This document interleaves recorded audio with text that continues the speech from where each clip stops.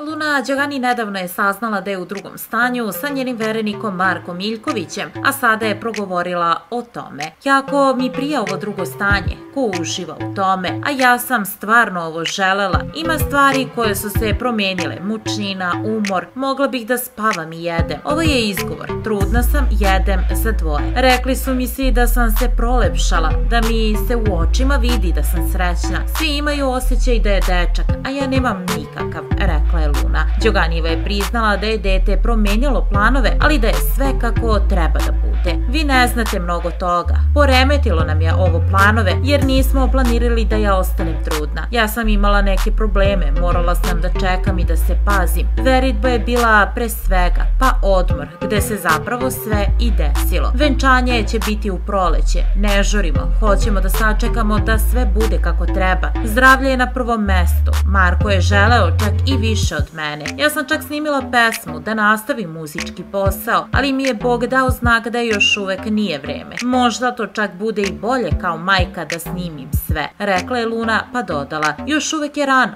ne želim da otkrivam detalje. Ja sam osjećala da sam trudna, ali sam se plašila da uradim test, a Marko me naterao. Prošlo je 10 dana od kako nisam dobila ciklus, a mama je samo rekla kako bih volela da rodiš bebu. Mi smo se pre toga viđale, ona je samo to tada pomenula, a ja sam joj rekla da ću uraditi test. Tu sam uradila test u restoranu sa majkom. Otišla sam kući, mama je plakala, ja sam bila zbunjena, rekla je Luna. Anabela Atijas priključila se razgovoru, pa upisala kako se osjeća što će postati papa. Ja ću biti baka, to je predivan status koji Bog dodeli. Uživaću da me zove bakom. Mogu biti i baka Bela. Osjećam danima da me nešto čini srećno. Videla sam neku bebu koju obožavam.